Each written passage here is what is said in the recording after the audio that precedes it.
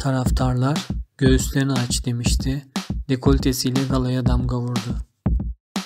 Taraftarların çirkin tezahüratlarına maruz kalan İtalyan spiker galaya dekoltesiyle damga vurdu.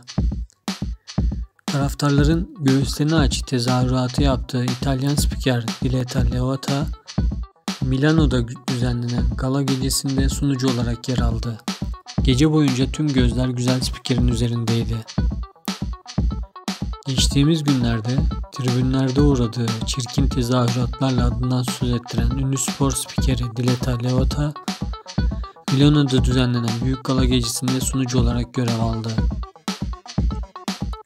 Gece için lacivert tonlarda ışıltılı bir kıyafet tercih eden Leotta, derin göğüs dekoltesiyle tüm dikkatleri üzerine çekti.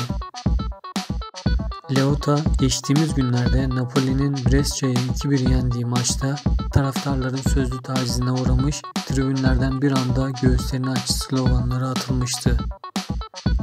Uğradığı sözlü taciz hakkında konuşan 28 yaşındaki spiker o konuda bir yanlış anlaşılma var. Napoli taraftarları maç boyu beni destekledi.